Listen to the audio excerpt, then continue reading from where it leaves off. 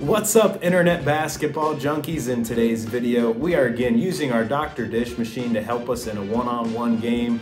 We're gonna use the Dr. Dish machine to pass the ball and have two players chase the ball down. The ball is live until one of the players grabs it and then the players are going to play one-on-one from there. This is an exciting drill and a great use of your Dr. Dish machine.